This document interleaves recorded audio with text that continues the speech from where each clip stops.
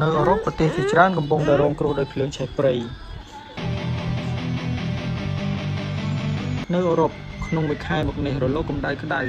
មានដល់ទៅ2លើកដែលបានបង្កឲ្យមានហេតុភេទអាក្រក់ច្រើនសីតុណ្ហភាពខ្ពស់នឹងភ្លើងឆេះព្រៃកំពុងតែគ្របដណ្ដប់នៅអឺរ៉ុបចាប់តាំងពីប្រទេសប៉ូទុយហ្គាល់បារាំងអេស្ប៉ាញនិងអង់គ្លេសអ្នកជំនាញលើកឡើងថានេះគ្រាន់តែជាចំណែកតូចមួយនៃផលវិបាកនៃការប្រែប្រួលអាកាសធាតុ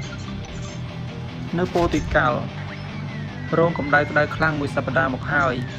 នឹងបានបង្កើតឲ្យភ្លើងឆេះព្រៃបន្តកន្ទុយគ្នាអ្នកងារពលរដ្ឋអគិភ័យ4 10ក្រុមបានចែកជើងគ្នាគ្រប់គ្រងស្ថានភាពហើយគេប្រមូលភ្នាក់ងារបណ្ដុតភ្លើងដល់ទៅជាង900នាក់នៅក្នុងហេតុការណ៍បណ្ដុតភ្លើងនេះយ៉ាងហោចមានមនុស្សស្លាប់2នាក់ក្នុងនោះម្នាក់ជាអ្នកបើកយន្តហោះដឹកទឹកនិងឧស្ម័នដើម្បីបណ្ដុតភ្លើងនេះបើតាមដំណឹងសារព័ត៌មាន AFP គិតត្រឹមថ្ងៃទី15កក្កដានៅប៉ូទុយហ្គាល់ព្រះគីបានលេបត្របាក់ព្រៃឈើក្នុងផ្ទៃដី30000ហិកតា ចំណែកនៅស្រុកបារាំងបែកនិរដីគឺមានភ្លើងឆេះ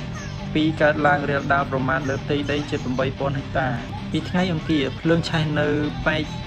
ខាងត្បូងខេត្តបឺដូបារាំងប្រមូលភ្នាក់ងារពន្លត់អគ្គិភ័យជាង1000នាក់ទៅជួយពន្លត់ភ្លើង ហើយជំនះប្រជាជនជាង11000នាក់ចេញពីតំបន់គ្រោះថ្នាក់ នៅថ្ងៃប្រហោះភ្លើងឆេះនៅអាវិកណនរៀលដាលលើផ្ទៃដី1200ហិកតា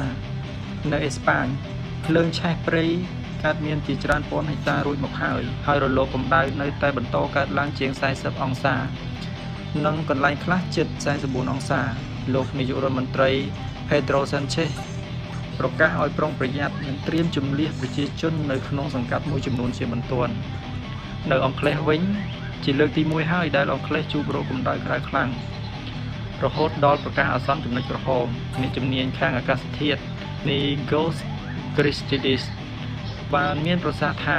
គេមិនដែលនឹកស្មានដល់សោះឈានមកដល់ដំណាក់កាលនេះប៉ុន្តែទីបំផុតអង់គ្លេសត្រូវប្រឈមនឹងអាកាសធាតុក្តៅខ្លាំង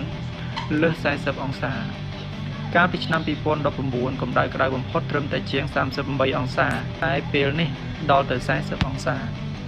អ្នកជំនាញរបស់អង្គការសហប្រជាជាតិបានទាញសញ្ញាអាសន្នឲ្យគេប្រយ័ត្នពីគុណភាពខ្យល់បន្ទាប់ពីនឹងកំឡុងពេលឆេះព្រៃនេះនឹងបន្តថា